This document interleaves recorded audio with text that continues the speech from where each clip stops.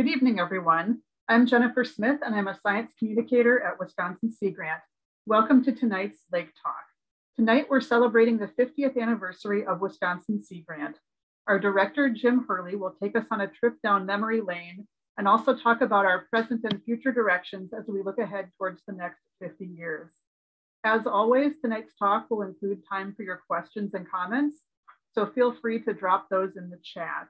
Even if you don't have a question, you might have a Sea Grant memory to share, and we'd love to hear that if you'd like to share that with us. Usually with these talks, I give some background about Sea Grant before we begin, but since tonight's talk is literally all about Sea Grant, I will leave that to Jim. Um, but I will say a few words of introduction about Jim before we get going. Um, he's been director of Wisconsin Sea Grant for the last decade and is only the third director in our 50 year history. He's also the director of our sister program, the UW Water Resources Institute. In terms of Sea Grant service on the national level, he was president of the Sea Grant Association from 2017 to 2019, and he was on the Sea Grant National Strategic Planning Committee from 2018 until this year. He also maintains a faculty appointment in the UW-Madison Department of Civil and Environmental Engineering. His recent research has centered on the cycling of mercury in the Great Lakes, especially factors affecting bioaccumulation in plankton and fish. Finally, tonight's presentation is being recorded, so you can catch it again later on our YouTube channel or share it with others. Um, and as I promised, I would keep these intros short. So without any further ado, I'll hand it over to you, Jim. Thanks, Jennifer. It's great, great to be here. It's great to be able to talk about Sea Grant that um, at such an important time um, of, of 50 year anniversary of the University of Wisconsin's program being a Sea Grant college or achieving Sea Grant college status. Um, thanks for taking some time out on a, on a busy Thursday night. I know I'm competing with the NFL draft. Um, I, I promise that I'll, I'll finish before the Packers make, make their pick. It was a lot of fun getting, getting this talk together because I was able to look back at, at a number of old uh, old photos, old documents, um, and uh, and saw a lot about the formation of, of our Sea Grant program that uh, that certainly influenced the, the way that um, that I was able to take the reins and uh, and be handed such a such a great program. So what I'd like to do is spend a little bit of time going over the history and then um, and then um, maybe some thoughts about about where we are and and where we're going next with with the program. So Sea Grant. Everybody asks what the grant is in Sea Grant. It's because Sea Grant gives out grants, correct? Um, well, not exactly. Sea Grant is based on the land grant model, and um, that goes back way back to uh, 1862 and the Morrill Act. This was um, land grant was um, was the term that was used to really build our public university system. Prior to 1862, it was mostly private universities, the Ivy Leagues, um, and, and not a system of education that was really available to, um, to the general public. And the Morrill Act of 1862 that uh, when, when Lincoln was president, when we were in the midst of, of the Civil War, the way that worked out is that states and territories got a chunk of land um, and they would use that land and they could sell off that land to build the great colleges of agriculture and mechanical arts. So when you hear things like Texas A&M, that's the A&M, the agriculture and mechanical arts. It's basically agriculture and engineering is, is where it came from. 1862 was, was a heck of a year. Um, it was a year that, that Lincoln also established um, U.S. Department of Agriculture, the Homestead Act, the Internal Revenue Act, the Transcontinental Railroad Act, and then this, the Morrill Act, probably one of the greatest influences on, on American education. There have been a couple of, of additions to the Morrill Act uh, in 1890. Um, that was the addition. It wasn't using land again, it was actually um, sending funding. Um, and that resulted in, in several historically Black colleges and universities. So the HBCUs came in in 1890. And then it was further updated in 1994 to pull tribal colleges and universities and um, Hispanic serving um, institutions into, into the land, the land grant system. A couple other things associated with this, the Hatch Act put broad extension into, uh, into this, but the Morrill Act of 18, 1872, which established land grant universities, probably one of the most important um, parts of, um, of American, the American education system. And if you look at that today, you can see land grants, it, it, they're sometimes known as the 1860, the 1862s, the original, the 1890s, and the 1994s. And you can see where they're located um, across the United States. That in, in, Wisconsin here, in addition to Madison serving as the main um, land grant university, we now have the Coudray Community College, and we also have the College of the Menominee which come under the, the, the land grant status. So that's where the grant and land grant came from. And then in September of 1963, um, a guy named Athelstan Spilhaus, he was, he was dean at, at the University of Minnesota. Um, really interesting guy. He was a futurist. He was had a PhD in oceanography. During the war, he was at MIT and he invented the bathythermograph, um, which was used to look at temperature structure in the oceans and really helped us um, helped us understand where the where temperature differences were and, and helped a lot in determining where submarines may be along along the coast.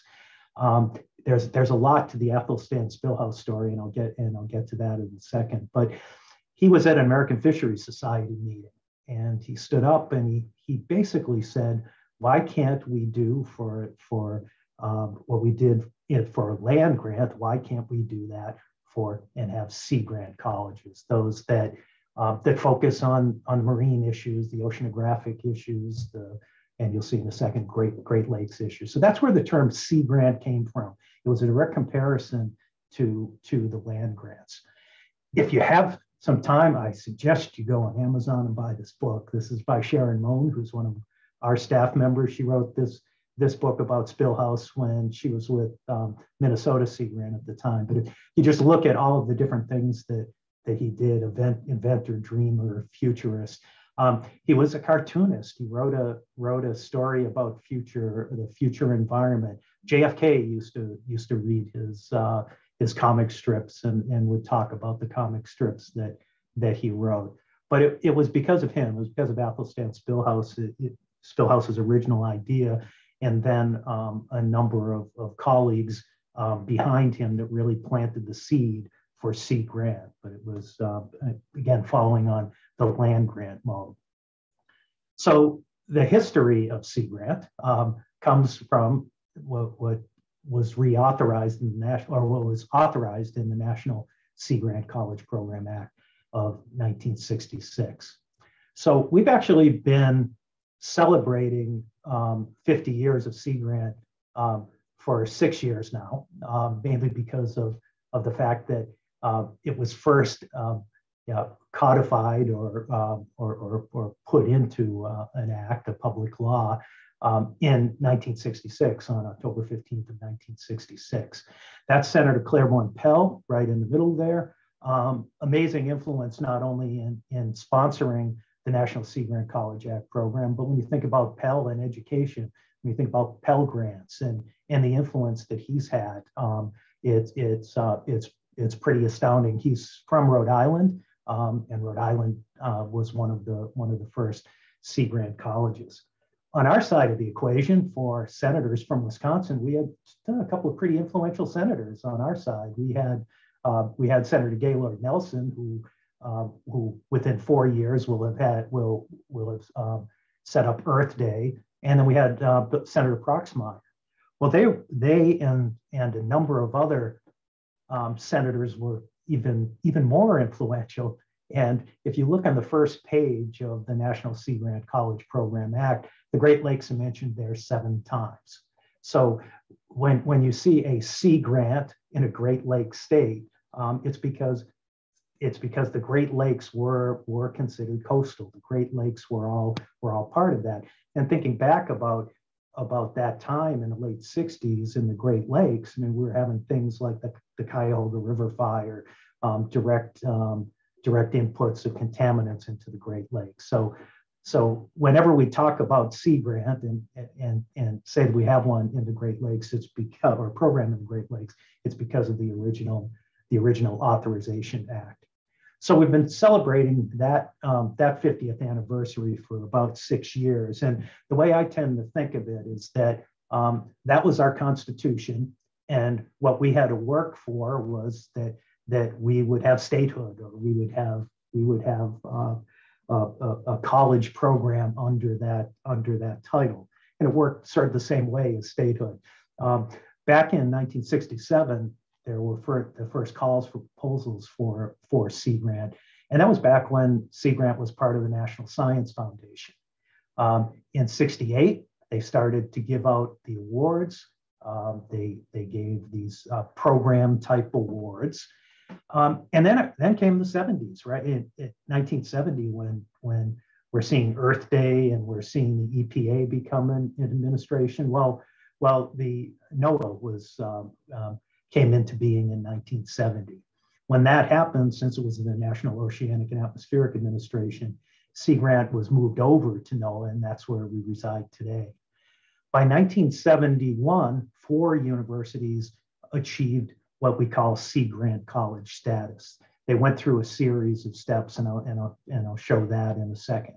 Um, and we were 1972. We were uh, we were in October of, of 19, 1972, and um, and so that's why we're, we've been celebrating it uh, the 50th anniversary for six years. The 66 authorization, 72 when when Wisconsin became an official uh, college status. The plaque that you see Senator uh, Governor Lucey standing in the middle, our first director Bob Ragotzkie on the right in the lower picture, and also clapping up above. This plaque sits in our conference room at Goodnight Hall on the Madison campus. So the legislation said that there were certain components of the Sea Grant of the Sea Grant College program. That it's an it's an investment in integrated research, um, education, extension, training, tech transfer and, and, public service. That was right in that in that original um, in that original language, and it's it's pretty well aligned with with what our national mission is today, some 50 years later, where where Sea Grant's um, mission is to enhance practical use and, and conservation of, of our coastal uh, Great Lakes resources. And also we, we talk about sustainable economy and environment. Well, NOAA is within the Department of Commerce. Sustainable economy fits very well within the Department of Commerce and, um, and, and, and environment too. And then our mission, we accomplish our mission through integrated research, edu- extension and education, or research outreach and education. So the original legislation still holds today, some 56 years, um, 56 years later, um, and represents a significant federal investment. So I want to spend a little bit of time talking about our, our initial program. Uh, our first director and, and the person that, that, um, that, that took the torch from, from Athelstan Spilhaus and, and, and worked to get that language through the, um, through the Senate and the authorization was Bob Ragotzkie. Um, unfortunately, Bob passed away at the end of last year. I was really hoping that he would have been here to uh, to cel- celebrate our 50th because he had such a huge influence on what we are today and uh, as, as the founding director of our of, of, our program. Bob had a had a PhD from here in Madison. He um, he actually was a was a B-24 bomber pilot in World War II. He stopped his education in um, at, at Rutgers as an undergrad to um, to become a pilot in in the Army Air Corps and uh, was, was stationed in the Philippines. Came back, finished his degree, got his master's at Rutgers, and then came here to Wisconsin to get, to get his PhD. He left Wisconsin for a while and he, he was, uh, did a postdoc and then also was the first director of the University of Georgia Marine Institute on Sapelo Island. Um, that still has a connection to the University of Wisconsin Madison, and that um, many students here in the, on the Madison campus do a, do a research course down on Sapelo Island. Bob was also part of the Department of Meteor Meteorology, and as I said before, he, he was really pushing for the Sea Grant program. Um, he started out as a principal investigator. Back when I talked about the money coming in 1968, he was a PI on that on that project. He then became um, in from 1970 to 70, 72, Wisconsin Sea Grant became an institutional program. So um, a little more than than than just a um, than just a project. It, it became an institutional program, and we still have that progression today. And then and then when we achieve Sea Grant College status, that's when um, each state is allowed one, one program with Sea Grant College status in it, and it works for, for the entire state. Um, that's what that's what came in 1972. That's what our plaque said. And so Bob became officially the, the director of the Wisconsin Sea Grant College program in 72, stayed in that position um, until 1991. I had a great time looking through some old documents and I looked at what the original proposal was to NSF. Um, I saw the draft, saw, saw comments as a picture of it on, on the right. But uh, you can see the issues that that that that first um, that that first proposal had. Not only did it have issues like eutrophication or the addition of, of nutrients to nat- natural natural waters, but within that, a team of different experts that would come together and work on a, on a single problem like eutrophication. So we, we, we were looking at, at these sub programs with a lot of different, different um, angles here. And some of the names that were on the original, um, the original proposal, like in, insect ecology was Hilsenhoff. There was, there was Magnuson on here. There was Hasler, um, just some, some, some big names. But you look at those issues and, you know, we're studying some of those things now still on eutrophication. Uh, there's, a, there's a direct link to that, that original uh, proposal. There was also a, a, a lake circulation um, project of, of the three that were part of that original. Um, thinking about thinking about transport, circulation, relation to pollution, that was actually some of the start of our microcontaminants program can be traced traced to that. And then the last one was, wow, they it's sort of an, an, odd name, but basically they were doing some climate research back then too. So looking at climate change issues. So you think about what they were doing back, you know, 50, 55 years ago, what they proposed to do 55 years ago. There's still a lot of links to what, what we're doing and, and, uh, and what we're refining, um, refining today. The other thing that Bob helped set up was Marine Advisory Services, or called MAS. Now we call it, call it Sea Grant Extension. Um, and, and Bob had a, a, particular way of designing that. We had in, in the Wisconsin system, we, we had um, extension agents on the, on, the, on the agriculture side, many of whom were generalists and worked in, in field offices. Bob always had the specialist slash agent model where, where the types of people that he hired first were people with direct specialties to, to benefit the citizens of the coasts of Wisconsin. So uh, picture on the top left is Phil Keillor, who was our first, uh, our first coastal engineer. Um, there's aquaculture in here. There, there's water safety and, and, and education, fisheries. Um, coastal processes. I, I, just love the white belt on the picture on the right, but you can tell you can tell what era era that that is. But but Bob really really uh, wanted to hire specialists with with key specialties that that could help the the coastal constituents in Wisconsin, and and that too is um, is is what we follow today. We have an opening in our extension or in our in our advisory services we always say how strategic that is based on trying to figure out um, what what the emerging issues are, what the next issues are that may um, that we may be responding to. So the second proposal even had had had uh, other interests. This was the institutional proposal from 1970 to 72, and you could see the makings of, of programs that that continue to grow and and that continued, I think, to make Wisconsin Sea um, such a huge player in, in Great Lakes research. Bob put together a team um, that for Green Bay issues and had had a multidisciplinary team together to form the Great Lakes program. He had a water quality program too that that started to get us into, um, into contaminants, into microcontaminants. Um, there was a fisheries resource program where, again, there'd be one, there'd be a lead and there'd be a number of, of people within those. But there are also a couple that really didn't go that far. There was a mineral resources program, thinking about mining, what the types of minerals that might be um, at the bottom of the Great Lakes. Um, uh, there was a there was a Green Bay. One of the focuses was Green Bay and manganese, uh, ferromanganese collection. Um, ocean mechanics, uh, socioeconomics, those issues that that you'll still see pop up in our in in our proposals um, today. What I always think is the most important part of Sea Grant is partnerships and collaboration. So any of those focus areas that, that we had before, those program areas, were all all set up with partnerships and collaborations, partnerships with federal agencies, partnerships with state agencies. Um, that, that Sea Grant wasn't doing this alone. They were so so well connected within the within the state and within the region to state, federal, local local types of resources. I was going to put out a bunch of logos here, um, but every time you do that, um, it looks like NASCAR with all of these all of these different labels.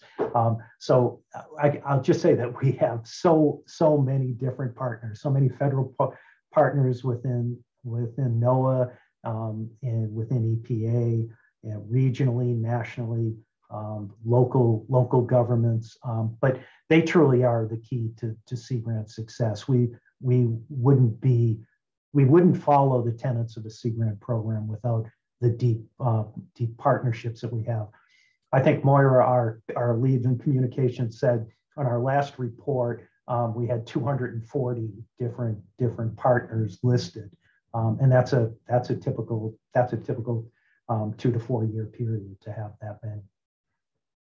So one of the one of the first, and we talked about or mentioned this is is Green Bay and and and the Fox River, and this is one of those projects that uh, are one of those focus areas that that we still work on uh, today or issues associated with this that we still work on today. Um, but it was it was back in back in the early 70s where there was a focus on point source pollution, um, especially wastewater treatment, wastewater flowing out into the Fox River and into Green Bay, causing um, causing harmful algal blooms, oxygen depletion. But then there was also an issue of PCBs in, in the river that um, that um, was a, a, byproduct of, of recycling paper. The old, the old carbonless paper used to have um, lots of little PCBs in it. So um, a, a, situation that, um, that in, in, a sense, we were, we were thinking we were doing something progressive in, in recycling, but finding out that um, that there were some by, byproducts into that. There was also some direct discharges of PCBs into the Fox River, a lot of contaminated, um, a, a, lot of contaminated sediments and, and then out into the, into the bay. But if you think back about this and you think about all the partnerships that, that, that came in order to understand, say, the PCB problem, that, that it, it needed basic chemistry, it needed some physics and, and chemistry, there, there, at one point, papers were written that Green Bay was actually a source of PCBs to the atmosphere once the sediments came and and and the, the lighter con, congeners, as they call them, were evading from um, from from Green Bay. We had to learn about bioaccumulation. We had to learn about sediment remediation. Um, it wasn't Sea Grant alone, obviously. It was it was all a bunch of federal agencies. Um, it was a bunch of state agencies the, the companies that were involved in this. But you know, 40, 40 plus years later, um, we can we can raise a flag about of, about um, decontaminating a large part of the, the Fox River from um, from uh, organic contaminants. And it was this. Uh, it, has it has always been this team approach, but it also shows the importance of the university linkage to the um, to to uh, to so help solve these these um, critical problems. And so I think I, I, think it's really important that that the that the Fox River it actually has, has um, finished off the PCB remediation, but there are still other problems to go. Um, if you get a chance, um, this is a fascinating article that Bud Harris wrote. Now, Bud was one of the original, um, the, the original uh, program area leads for for um, for Green Bay. Bud's at, at, University of Wisconsin Green Bay. Actually, the bookends of this um, of, of this article, uh, Bud Harris and then Val Klump were both advisors on our Grant Advisory Board. Um, really important to have people with that institutional knowledge. But this talks about um, about how uh, about all of the partners that were together and all of the research that came and um, and there's a, a, mention of Wisconsin Sea Grant right in the abstract in here on the important role that that universities played in um, in, in, the issues associated um, with Green Bay. So that was all part of that saga that that that Bob Ragotzkie set up. His thinking about about multidisciplinary research and focus areas that we could we could pull together. Um, uh, under Bob's direction, we also um, had some pretty important science communication. If if you mention Earthwatch radio around to people that are about my age or, or older, they'll they'll remember this. This was uh, it was a, a program of public service announcements or, or little little stories of and science communication that used to run back in the days when when stations were required to have public service announcements.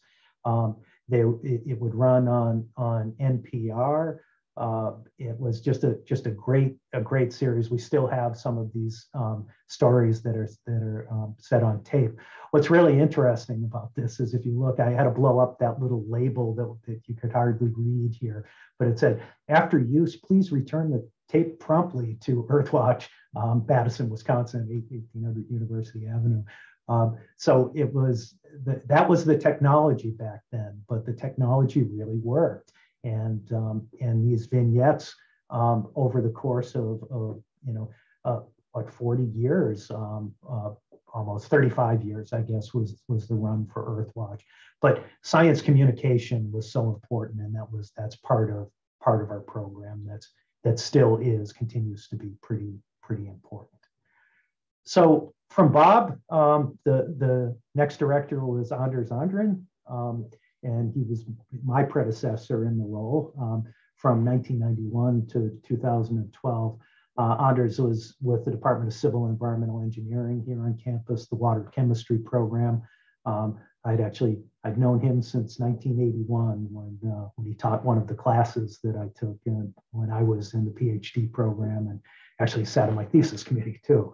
Um, but he was involved in Sea Grant since 1975. He came in as a as a principal investigator, um, as, as a coordinator of one of those thematic areas.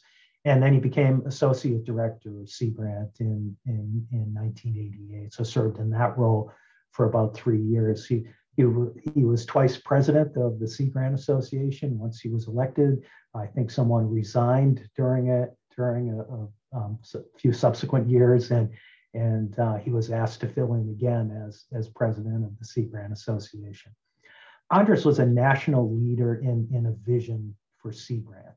Um, as more and more programs came on board, he was uh, he, he was looking he looked at ways to try to pull us together under what he called thematic areas and or theme teams that that a program in Wisconsin could be doing the same thing as a program in Oregon and Florida and Louisiana. And together, the sum of that type of work should fall under one theme. And it was really the, the start of, of strategically thinking about how to align our Sea Grant programs. Um, and a lot of that um, was, was due to Anders. Anders also was a, um, he was a technology nut. I mean, he wanted, uh, it, we, we've always been a strong, or since I've, since I've known the program, always been strong on the technology side.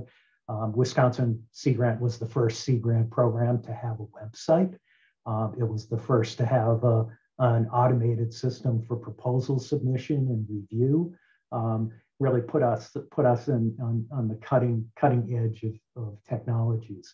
Um, and he was also a, a, a contaminant specialist too, and um, and and um, and led the program that way.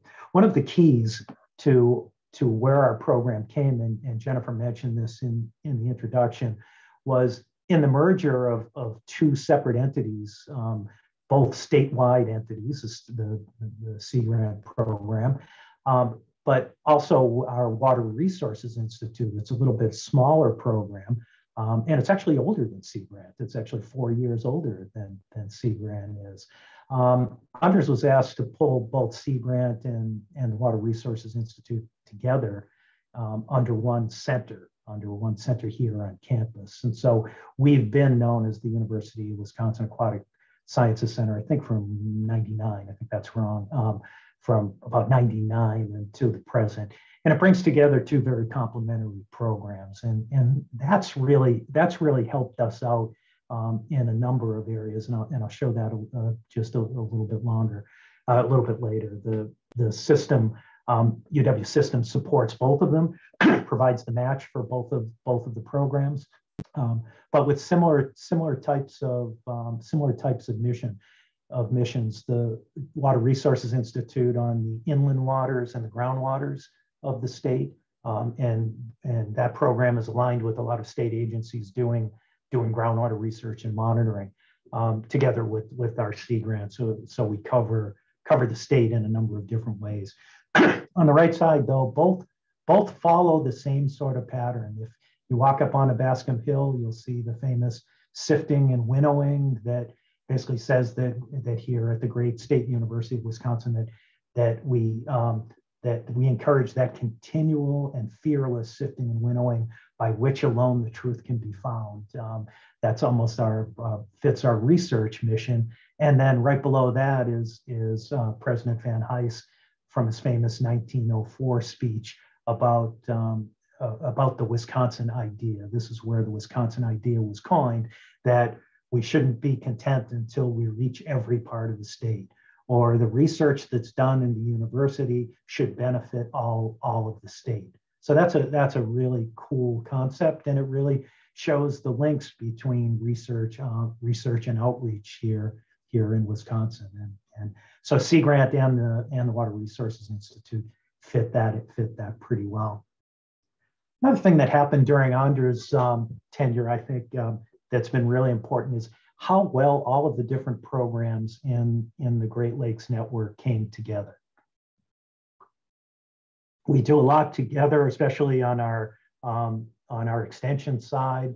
Um, you can see all of the different offices where people are located, how some of the issues on either side of a certain lake might might might be very similar in in in in, um, in issues that we need to respond to, and um, and I, I, I, continue to think that it's the strongest net strongest of the sub networks in the um, in the entire Sea Grant program uh, because we, we do a lot of projects together. Um, we share a lot of resources. We share a lot of expertise uh, because we're looking at basically the same bodies of water together and, and the issues are very similar across.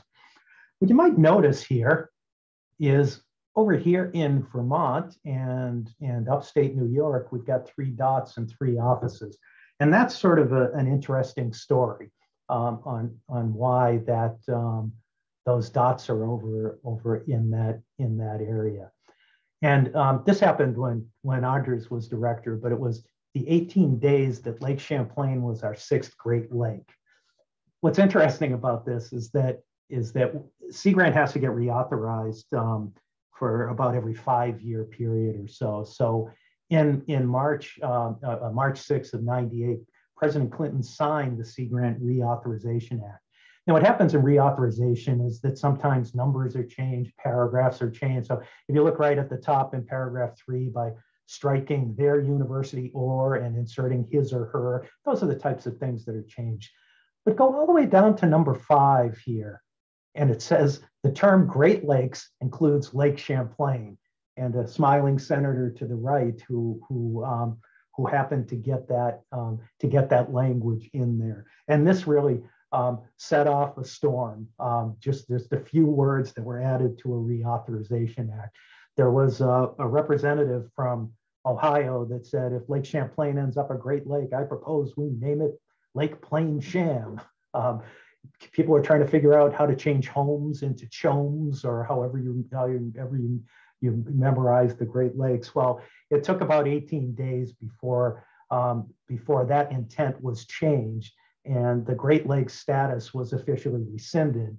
Although the universities in Vermont and New York could could still apply for Sea Grant funding around around Lake Champlain. So we we, we always consider Lake Champlain in that in that group of, of of um, the Lake Champlain Sea Grant. We always consider them part of our Great Lakes, our Great Lakes programs. People will say um, the five Great Lakes and a pretty good one, but um, but it's sort of interesting that that that's how a certain language, what what language can do. Um, but it but it also is has created a really strong um, Lake Champlain Sea Grant program. Um, I, I wanted to mention too that that we've had long-term investment in in issues like shipwreck research um, that, that Wisconsin has, uh, Lake Michigan and, and, and, Lake Superior, that we have 55 shipwrecks that are listed on the, the National Register. Um, we work very well with the Wisconsin Historical Society and in, in, their um, in in their research and in supporting that research. And the WisconsinShipwrecks.org site is probably one of the more popular sites that websites that um, that Sea Grant has has been involved in. But importantly, what that's led to, and uh, over the past year, is the designation of a new NOAA program here in Wisconsin, and that's our Shipwreck Coast National National Marine Sanctuary. Um, we've been trying to get a sanctuary here for for a number of years, and it's been great to great to see that that we do um, we do finally have that for the protection of eh, on on the on the shipwreck coast, which runs from Kewaunee County down to Ozaukee County, um, that we are we can protect those shipwrecks now. And and actually, it, it should also be a boost for for tourism for um, the type of history. It's a heck of a lot easier to talk about uh, history of immigration to Wisconsin when you can when you can look at some of the history in a um, in, in different types of, of, shipwrecks around the, around the coast. So we're glad to have another, another partner here um, in Wisconsin. I want to finish up on, on um, during, during Anders' um, um time, and that was that Sea Grant made some, at the national level in the early 2000s, made some investment in coastal community development. Um, this was yet another one of those um, grassroots efforts to um, to to uh, to take on a new area, and that was in coastal community development. And um, a small grant led to larger grants. The EPA gave gave Sea Grant some funding, and we started thinking about things like coastal economies um, and working waterfronts and recreation and tourism and and coastal access. Um, and it was a real turning of the ship, I think, for Sea Grant and, and even for our program to do more with our with our local uh, coastal communities and economies. And that's sort of where we are today with our with our Sea Grant's main four focus areas in resilient communities and economies. We've got fisheries and aquaculture. Wisconsin uh, program, the history, a lot of the history has been in healthy coastal ecosystems and in contaminants and nutrients and, and, and, such. But we've really branched out um, even more so into some of some of these uh, other areas. And so by the time the Sea Grant keys got passed to me, this is this is basically um, the the four focus areas. We're really well connected um, with other programs uh, across the country that all have some some form of these four focus areas. We were all able to aggregate our impacts because of that. I'll maintain that a lot of that had to do with Anders and and and the original theme teams that um, that led to what we have as our as our focus areas.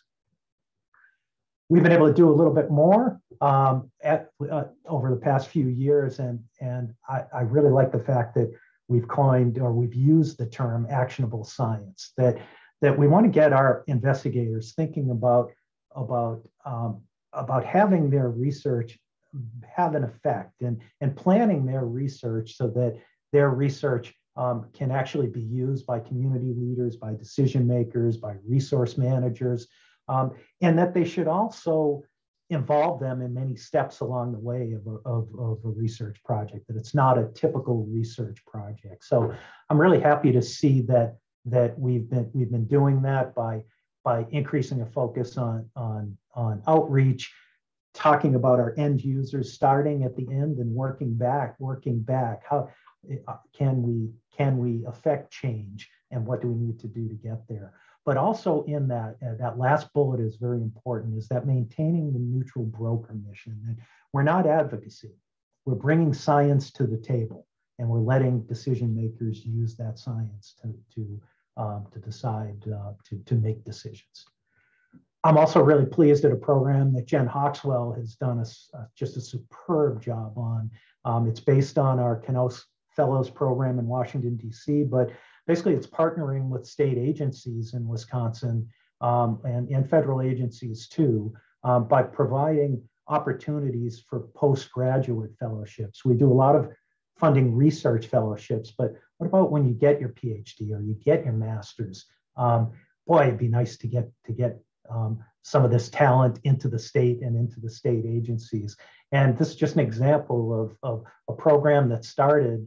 Um, we've named our, our Sea Grant Fellowship after Phil Keillor, who, um, who was our, our original coastal engineer and worked really closely with the agencies and with the communities and started out by just having a single um, a single fellowship um, we then used some water resources money to do that and this was back in 2016 and there just keeps becoming more and more opportunities. I saw another listing for one with um, with the Department of Natural Resources today. So um, it's creating that pipeline. It's workforce development.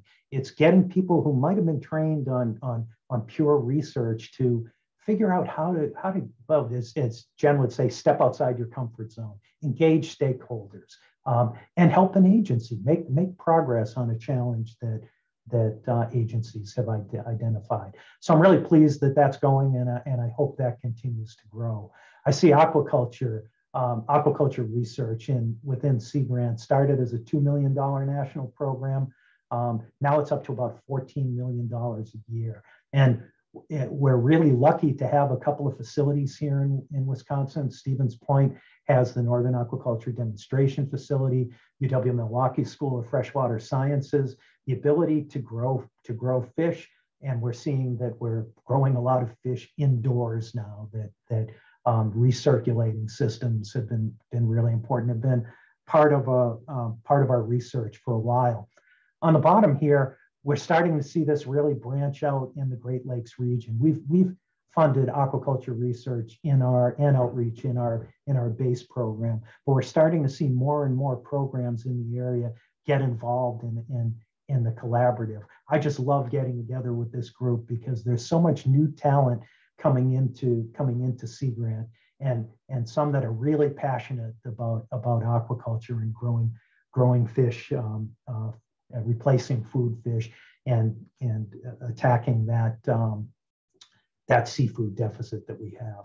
One example of, of, of futuristic, um, I think Athelstan Spilhaus would love this, but this is Superior Fresh. It's in Wisconsin. It's the purple glow you see if you're driving up to Eau Claire on a, in a nighttime um, between Eau Claire and, and Osseo.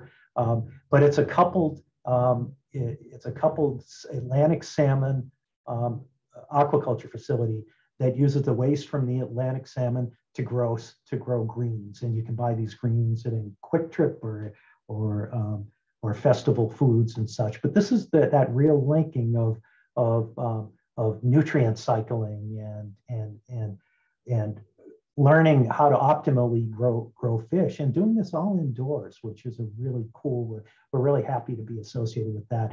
That direct links to the um, to the the Stevens Point facility and how that was developed.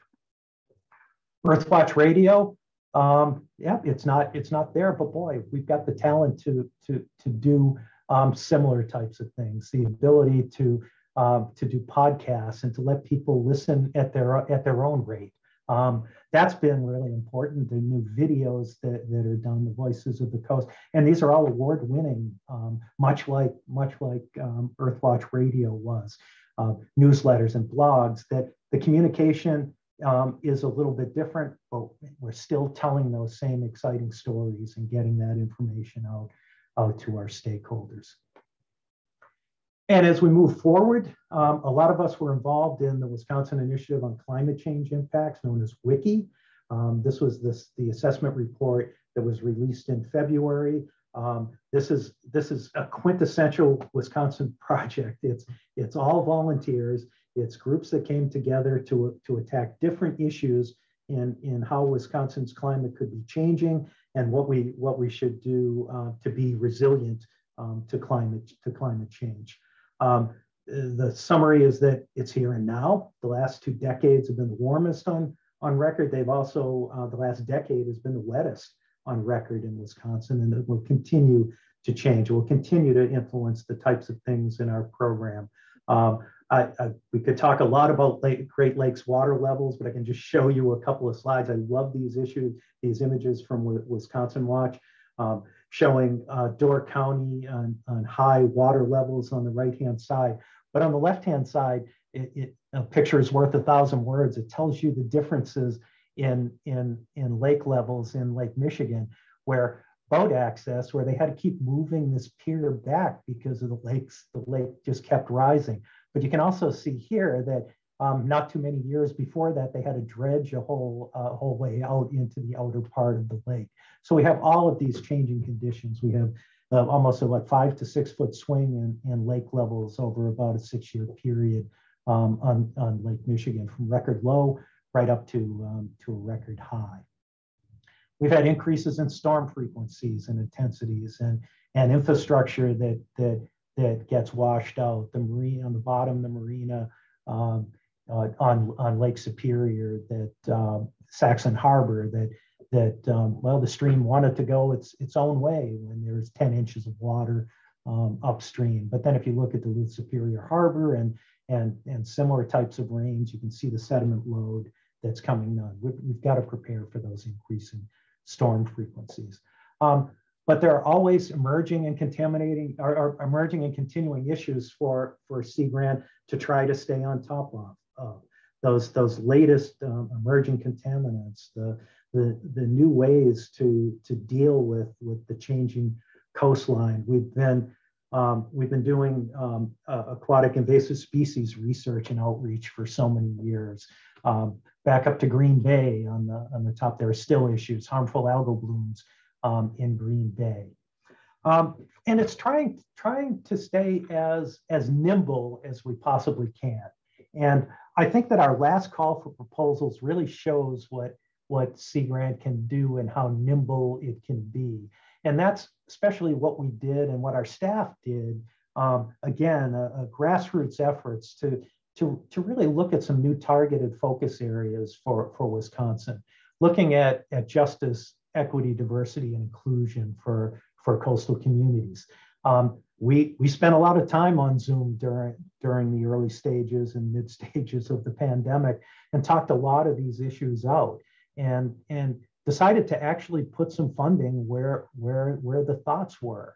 And um, so in addition to our base focus areas, we had a special call, but we have targeted focus areas in justice, equity and diversity and, and inclusion. We actually funded two projects on that. Um, one uh, one uh, for with the Brothertown tribe in, in Wisconsin, and then the other one um, with uh, with Minnesota tribes, but looking around Lake Superior the history of, of of fire and, and the use of fire by the tribes, both really exciting projects. And then also emerging contaminants, the PFAS issue continues, continues to be important. But I'm, but I'm really proud of the way that the program was able to, um, to respond to those types of issues and actually get, get projects um, moving forward. So I have all sorts of other questions, and you probably have, have some more too about where we're going down the line. Um, some of the things off the top of my head, um, the COVID pandemic, it, it, it, it, taught us um, some different ways to communicate. I mean, we're, we're here on Zoom tonight. I'm not standing at, you know, at a, at a community center in Manitowoc giving this talk. Is, is that the best way to connect with, with coastal communities? Um, our, our staff, um, is it, how, how do they, how do they incorporate the remote, remote service and information um, sharing. Um, there's so much so much important than face-to-face contact and understanding understanding um, problems. And are we actually are we actually seeing that um, through through these remote techniques? we're always wondering if we're reaching non-traditional stakeholders. Can we provide opportunities and can we can we try try to reach underserved communities that, that we haven't um, in, in the past? Um, organizationally in Sea Grant, we've addressed, we're, we're starting to address some research in diversity, equity, and inclusion and EJ, environmental justice. Um, but what, what, how about our organization itself? How about the makeup of our organization, where we're going? We're actually going through um, uh, an, uh, an equity audit of, of our program and our, our practices and our hiring so that so that we can address those issues that are that are extremely important for future programming. Are we effectively creating that actionable science? Are we bringing that science to the table? Are, are, are we starting from the end point and working our way back and, and funding science that, that's important for decision makers? And how do we double check on that? And finally, we're always asked how to quantify impacts. How do we show accountability for state and federal investment? What's our return on investment? Um, those are all issues that, that, that we're going to have to continue um, uh, to work with. I think, I think we do have the talent in Wisconsin Sea Grant to, to, to deal with this and in our Aquatic Sciences Center. And I think the talent pool in this state is, is, is amazing with uh, with the University of Wisconsin system and private, private universities in the state that we typically interact with, with our state and federal partners. So those are some of the questions I have. You might have some, some other questions for me. Um, I did want to want to let you know that we're right in our in our strategic planning time. Um, if you have a pen, uh, it, for a pencil nearby, we, we do have a survey out there, and we're looking at at where we're going to go with our strategic plan for 2024 to 2028. Um, and that, that will be on us fairly soon. Go.wisc.edu and the slash is XT35. That's an O, uh, the letter O, and a three. Um, if, if you do that, um, uh, it goes to a survey and you can you can rank and give us some suggestions of where we should be going with with our future plans. I think it's an exciting time. I think it's um, where we're seeing more federal investment in science than we've seen um, uh, than we've seen recently. Um, we, we see that um, that that we're we're well poised to partner and to um, and to do some really really great things in Wisconsin. So I'll I'll finish up with some views of um, of the Great Lakes and the things that inspire us. And uh, thanks for coming and and sharing our, our 50th anniversary with us. Thanks. Thank you, Jim. That was a really deep dive into all things Sea Grant. I know I learned some new things, so this was really great. And I did put that survey link in the chat, so hopefully people Great. can use that if they like. Um, let me know, folks, if that link doesn't work, but I think I have it in there correctly. Um, I wanted to kind of piggyback on a couple of the things that you said. Um, you had mentioned the Wisconsin Shipwreck Coast National Marine Sanctuary. And if people want to learn more about that, here's a shameless plug for the Lake Talks. We actually did have a recent Lake Talk all about that given by Russ Green. So if people want to learn more, um, that's a good place to do it. You can go to our YouTube channel. So just search for Wisconsin Sea Grant on YouTube then go into the playlist for Lake Talks and you'll see that talk there. Um, also, Jim, you had mentioned um, the role that the postgraduate fellows play and all of the things that they work on. And our next Lake Talk, which will be the last one of the spring season, is actually going to be given by one of those fellows. Um, the speaker next time will be Jordan Murray, who is a fellow working on the issue of harmful algal blooms. And she's stationed over at the Department of Health Services um, and she was a lot of fun to talk to. I interviewed her last year when she began her fellowship, and she's just, you know, full of energy around this issue. So that talk is May 12 um, for anyone listening who might want to join us again for the next talk. Um, another thing that I noticed while you were talking, Jim, is that Sharon's book about Athelstan Spilhaus, if you go on Amazon, um, you can get the Kindle version for $3. So that's a bargain. I may have to grab that. I think it's hard to get the actual physical paperback, but the ebook edition is easily gotten. So just a few random notes there. Um, people out there, if you have questions, feel free to drop them in the chat. Oh, I see one coming in. Oh, okay. It's a link to the shipwreck talk given by Russ Green. yeah, it's really great to see to see those types of programs, those other NOAA programs. We've um, we've also gained two, uh, well, one national estuary uh, research reserve up on the St. Louis River, actually giving a talk up there next month or in, in mid-May. Um, and there's another one proposed for Green Bay that, that should come through. And we're all, all linked well with our coastal management program and our other NOAA, NOAA partners here in the state for those too. Let's see, right now I'm not seeing any questions. We'll give it just another moment here.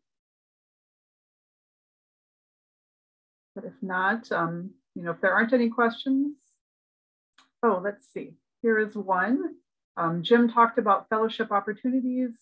Uh, he wanted to discuss other student support in the form of a new undergraduate opportunity for the summer. I guess that's one thing we didn't touch upon.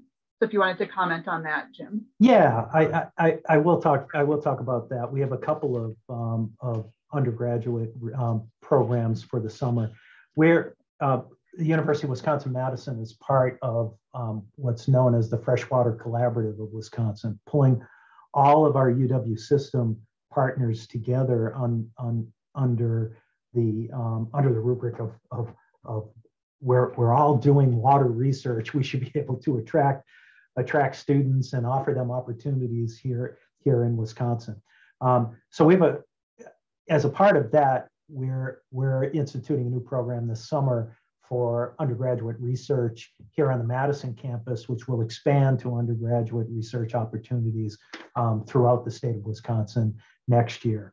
Um, so so uh, students will will spend time in a research lab and and by the end of the summer they'll actually be giving a poster or a talk about the specific research that they did.